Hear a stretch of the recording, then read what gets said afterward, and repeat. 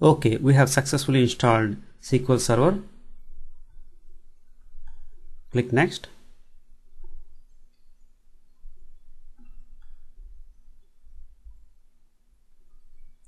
Now if you go and see we have one more SQL Server resource group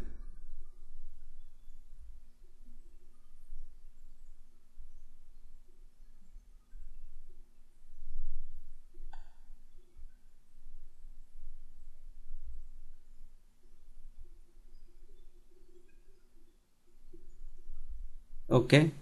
Uh, it is being the owner of the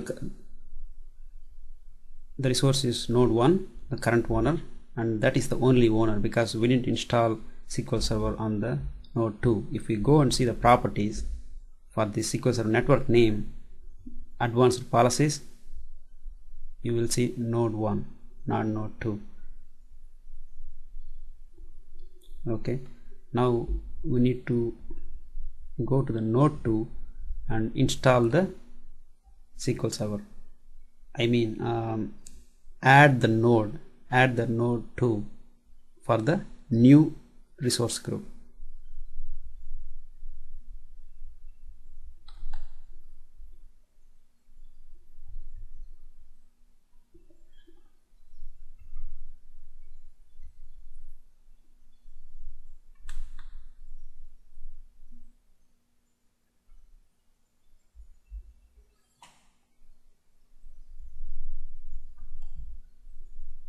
click installation. Now to join this node to the new SQL Server failover cluster we need to select this option. Add node to the failover cluster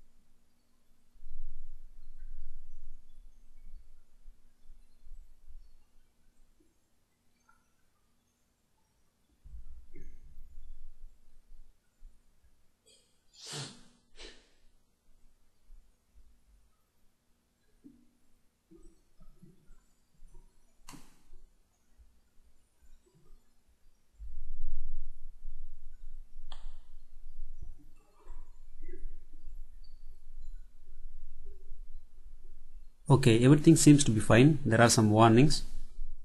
We can ignore that because uh, even we had the cluster verification warning last time .NET application security cannot connect to internet. That is fine. Network binding that is fine. Click next. Next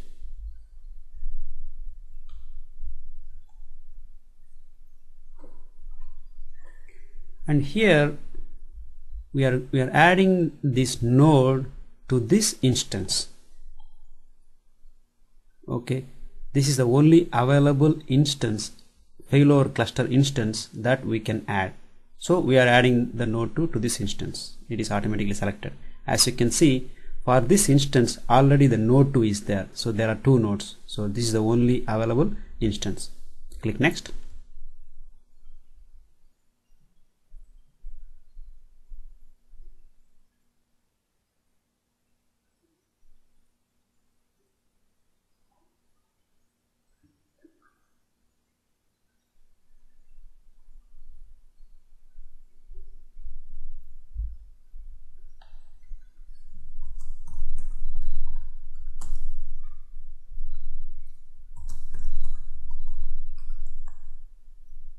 next.